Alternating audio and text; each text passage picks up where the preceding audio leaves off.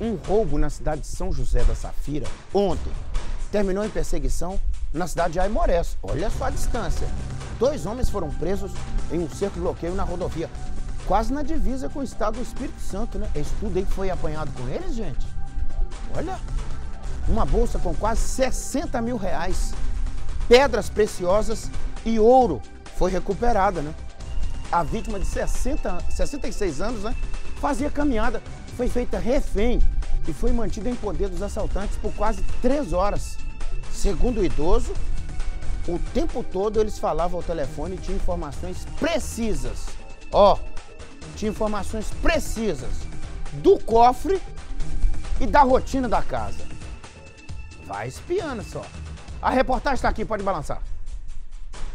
Sobre a mesa, o material apreendido no porta-malas do carro em fuga: furadeira, pé de cabra, tesoura corta-vergalhão e até fita para imobilizar a vítima. Segundo a polícia, os apetrechos foram usados para arrombar o cofre da família e levar toda a mercadoria de pedras preciosas, cordões e pulseiras em ouro e mais de 55 mil reais. O monitoramento policial flagrou a dupla a caminho da cidade de Serra, na região metropolitana da capital do estado do Espírito Santo, justamente ao passar por Resplendor e acompanhou os passos dos criminosos. Diante das informações, realizamos um cerco na cidade de Amorés, sendo o veículo encontrado passando pelo posto Anacleto, na entrada da BR-259, com o trocamento da entrada da cidade de Amorés. Neste momento, a equipe policial deu ordem de parada, o qual foi desobedecida pelo condutor do veículo, que iniciou uma fuga em alta velocidade. Diante da situação, a equipe acompanhou o veículo até o momento em que os autores evadiram após ter colidido com um carro que estava parado.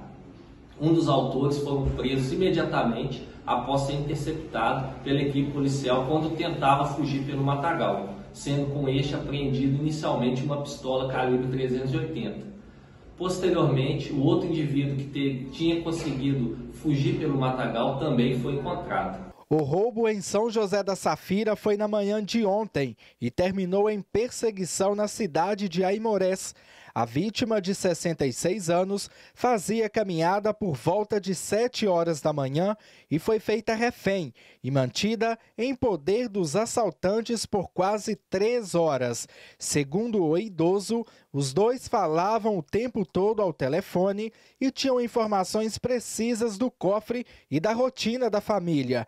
A dupla abandonou o idoso amarrado a 15 quilômetros de Safira e seguiram viagem. Graças a Deus a resposta é, né, foi imediata, né? tivemos êxito em apreender os autores né, e recuperar o material.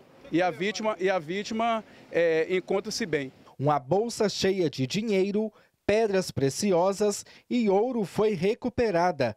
A PM ainda apreendeu duas pistolas e carregadores usados no crime.